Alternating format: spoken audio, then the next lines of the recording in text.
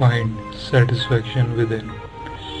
It is the most important thing everybody should focus, but most of the people are neglecting it. They are just trying to fulfilling their desires without knowing what they really want and what really satisfy them because fulfilling desires is never ending process nobody in present or in history got satisfied completely by only fulfilling their desire.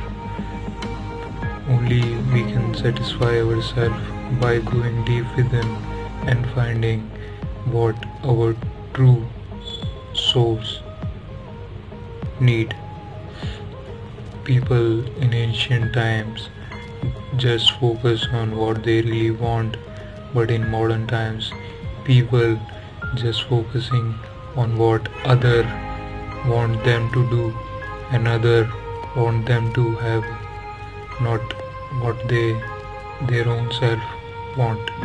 So people should focus on the path which their soul want to thrive not their brain want to have. Because brain have too many complications systems that can lead us to a better path or a worse path.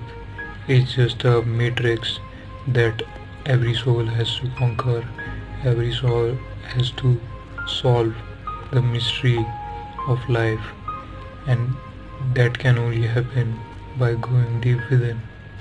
Namaste